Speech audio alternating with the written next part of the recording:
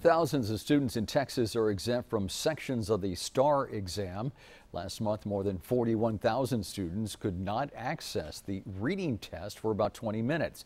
And this month, a slow connection delayed the test for about 29,000 students. The Texas Education Commissioner says those fifth and eighth graders affected do not have to pass a test and can move on to the next grade.